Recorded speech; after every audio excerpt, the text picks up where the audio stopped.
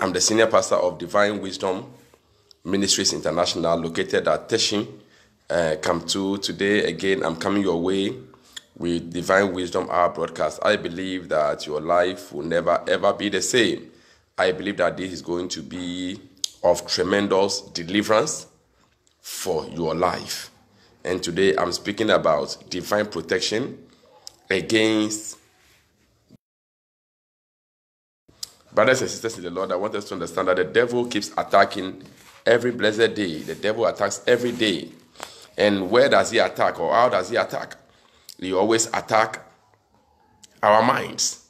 And that is why the Bible says that keep your heart with all diligence, for out of it flows the issues of life. Proverbs chapter 4, verse 24. So it means that our minds is a workshop of the devil. So let us look at what can we do with the mind. That's what Apostle Paul said in the book of Romans, chapter 12, and verse 2, he said, Do not conform to the things of this world, but be ye transformed by the renewing of your mind. Let your mind be renewed. So, the mind is very, very important if we have to overcome, if we have to overcome the schemes and the attacks of the devil. If we need divine protection, that is what we must do. So, first and foremost, you cannot fight an enemy that you don't know. Bible said that we shouldn't be ignorant about the devices of the devil. I want us to understand that ignorance is our mountain. There is no mountain anywhere that is stopping you. It's your ignorance that is stopping you.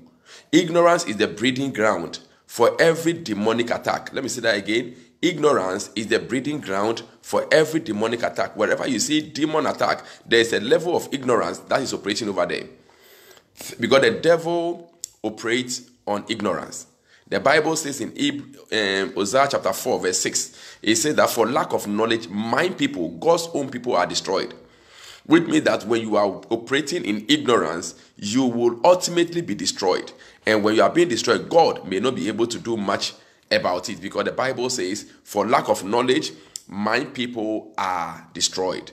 When you lack knowledge of who God is, when you lack knowledge of your identity, when you lack knowledge of the finished work of Christ, when you lack knowledge about the promise of God concerning your life, the devil will molest you. So, first and foremost, I want to paraphrase this scripture in the book of um, John, chapter 8, verse 44. I want to paraphrase it. For the Bible states that he said that he said Jesus was talking to the Pharisees and he said, You are like your father, the devil. And he's a murderer. Number one, Jesus Christ described the devil. We must know our enemy. We must know his nature. He described the devil as a, a murderer from day one. And remember John 10 verse 10, he says that the thief comes to steal, to kill, and to destroy. So the devil is a thief. That's the number one assignment of the devil. Is a thief. Number two, he comes to kill, he's a murderer. And number three, the devil comes to steal, to kill, and to destroy. But I have come that you may have life and have life more abundantly. The devil is a thief. The devil is a liar. There is no truth in the devil. Bible says in John 8 44 that whenever he speaks the lies, he speaks about himself, and there is no truth in him. Everyone the devil uses lies. They tell you lies about things that are not even there. They give you false hope. The devil is a liar. The devil is a liar. The devil is a liar. That's one, one thing you must know and he's a murderer as well. I also want you to know that the devil is a scarecrow. The devil is able to operate on fear.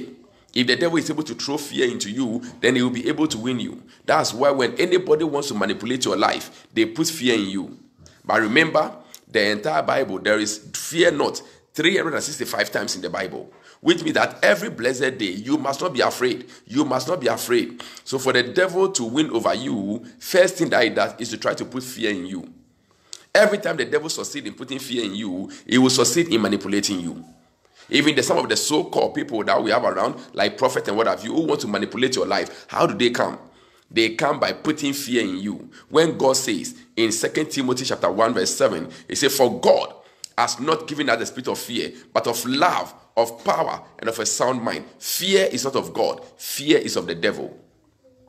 And like I said, anyone who succeeds in putting fear in you will be able to manipulate your life. Look at what we have been seeing. Some of the fraudsters we get around, they will tell you, they will call you, say you have they have brought your picture that they, they, they say I should kill you. So send me this money or I will kill you. All they are doing, they are fear mongers. They try to put fear in you. Once they are they succeed in putting fear in you, you always be at their beck and call. It is the strategy of the devil. And that's why David said in Psalm 23, verse 4 Though I walk through the valley of the shadow of death, I will fear no evil. So, no matter where you are walking, if you don't fear, the devil does not have power over you.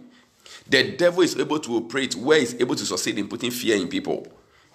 The devil is a fraudster. The devil is fake. The devil is not real. The devil is not real. Everything that he does, he does. The Bible says that even when he met Jesus on the mountain, he showed him the riches of this earth in the flesh. The devil showed Jesus Christ the riches of this earth in the flesh. That's why people go for all that they give to them is in a flash. They exchange their originality with a fake thing. That's how the devil operates. So whenever the devil comes into your life, check your life so well. He puts fear in you. He keeps you under bondage. Jesus Christ said he has come to set us free. John chapter 8, verse 32. You shall know the truth, and the truth shall set you free. So it is in the knowledge of the truth that you are set free. So until you know the, the truth, until you know the truth, you will be, always be under bondage. So normally people who try to keep you under bondage will keep you away from knowledge. Anyone who keep you away from the truth, anyone who keep you away from the knowledge wants to keep you under bondage. When you are in a church, they say, don't read other books. Don't, don't listen to this man. Don't do this one. They want to keep you under bondage. But they know that the day you get to know the truth, you are out of their, their, their grip. You tell them, don't go here, don't touch it, don't talk to this person. There is something that they are hiding. So the devil is a liar. But the only thing that is able to overcome the devil is the truth.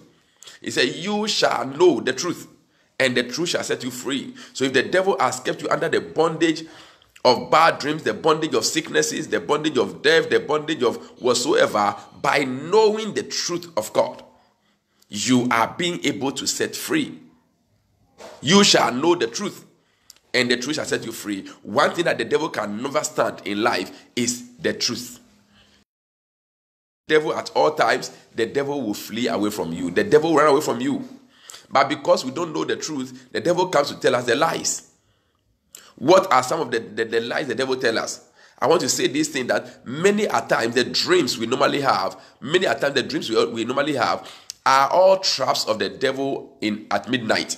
When you sleep at midnight, the devil brings you a trap and the trap the devil brings to you is in the form of a dream. And by the time you wake up in the morning, you are shaking with fear. But remember, God has not given us the spirit of fear, but of power, of love, and of a sound mind. Has not given us the spirit of fear, but of power, of love, and of a sound mind. Then obviously, you must not allow the devil to put that fear in you. So when you sleep and you are dreaming, look at those the so-called quote, quote and unquote, who call themselves prophet, you tell them anything at all, they put fear into it. If you, when you tell them you are you, you, dream you have money, they will tell you something negative. When you even tell them you are traveling abroad, they will tell you something negative. When you tell them you are jumping and you are happy, they will tell you something negative. Why? It's in order to put fear in you. That's the nature of the devil. So for you to be able to be protected against the attack of the devil, then you must know the tricks of the devil. You must know how you operates. That from day one, he has never told any truth. Everything he says is a lie.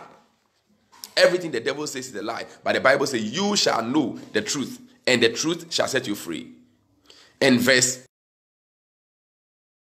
of John chapter 8 says that if the Son therefore shall set you free, you shall be free indeed. And the Son, the, the, truth we are talking about, is the Lord Jesus Christ. You shall know the truth. You shall know Jesus, and you shall be set free. One thing the devil cannot stand, like I say again, is the truth. And that's why many Christians today, if you don't engage in the word of God, the devil will lie to you. You must be engaging in the truth of the word of God. You must believe what the word of God says. And I'm going to show you a few things. For instance, God delivered me from fear years ago when I saw in Isaiah chapter 54, verse 17, the Bible said that no weapon formed against you shall prosper. Hallelujah. No weapon formed against you shall prosper. Which simply means that to be formed against us anytime, any day. The devil will form the weapons anytime, any day. But the truth of the matter is that it shall not stand. No weapon of the devil formed against you shall prosper. The devil will form the weapons, all right, yes, but the weapons will not survive. So when the devil points a gun at you, that is a toy gun, it's a water gun. Why? The devil has no power over you. You are a child of God. No weapon formed against you shall prosper. And he said, and every tongue that rise up against you in judgment, we must condemn it. That is where a lot of Christians go wrong. That when people tell you negative things, you look at them and you allow them to go. Then you be pondering over, brooding over the negative things, and you begin to attract it. Not at all. Whenever anybody tells you any negative thing that you don't like, listen to what the Bible says. He said, And every tongue that shall rise up against you in judgment. When a prophet tells you something you don't like, when a man of God tells you something you don't like, when a juju man tells you something you don't like, when your parents tell you something you don't like, stand in front of them and condemn it. Maybe I don't understand scriptures. Maybe you need to read again. Isaiah 54, verse 17. He said, No weapon formed against you shall prosper. Number one, that's the decree. And then number two, the, the second line is, is, a, is a responsibility from you. He said, and every tongue that shall rise up against you, not for you, against you in judgment, you must condemn it. So I look at you and I tell you that I can see you are dying. Look at my face. Say, Pastor, I shall not die. I will live to decree and declare the works of the Lord. Use the word of God to condemn the negative thing that I have said. Don't allow anybody to tell you negative things and you go about it and be telling people, and the prophet say, I'm going to die. Oh, the prophet say, my marriage is going to collapse. So the more you say it, the more you enforce it. The more you say it, the more you enforce it. He said that, and every tongue that shall rise up against you in judgment, it doesn't matter where it is coming from. It doesn't really matter where it's coming from. And every tongue that shall rise up against you as a child of God, you shall condemn it. When anybody tell you, eh, I had a dream that you were going to die, say, not me. I cannot die, but I will live to declare, declare the words of the Lord. Jesus Christ came that I may have life and have life more abundantly. I have the Spirit of God in me. And the Bible says that those who walk according to the Spirit, they have life and they have peace. Therefore, I shall have life and I shall have peace. Why? I walk according to the Spirit. This is what you need to know. You must know the truth. I am the anointed of God. Therefore, nobody can touch me. You can take me anywhere, you cannot touch me. Why? I believe in the scriptures. The Bible says that thou shalt not touch my anointed and do my prophet no harm. He said, He suffered no man to do them wrong, and he rebuked kings for their sake. If this is what the word of God says, whose report do you believe? Whose report do you believe? Do you believe what people are saying? Do you believe what the man of God is saying? Do you believe what the juju man is saying? Or you believe what God says in his word? When the Bible says that no weapon formed against you shall prosper, it means that no weapon formed against you shall prosper. When the Bible tells you that when your enemies come against you in one way, they shall flee in seven ways. Indeed, when they come in one way, they shall flee in seven ways. When the Bible says that if the Son therefore has set you free, you are free indeed. You are indeed free. You are indeed free. You cannot be under bondage. Therefore, I pray for you this morning that you will not be a slave for fear anymore. Anytime at all fear comes, use the word of God against the fear. Everybody God has ever ever called told them not to be afraid, not to be afraid, not to be afraid. Fear not, fear not, fear not. Let me say that again. Anybody who succeeds in putting fear in you is working for the devil without knowing. Because the devil is a monger of fear. But the Bible makes it so clear for God has not given us the spirit of fear, but of power, of love, and of a sound mind. Of power, of love and of a sound mind. For God has not given us the spirit of fear. Don't allow anybody to put fear in you because when they put fear in you, you are not able to do anything with yourself again. So remember, the Bible says, touch not my anointed and do my prophet no harm. So once the, once the anointing is upon your life, nobody shall touch you. Number two, as a child of God, it's our inheritance that no weapon formed against us will prosper. The Bible again says that, it says in the land of Egypt, it said, when I see the blood, I shall pass over thee.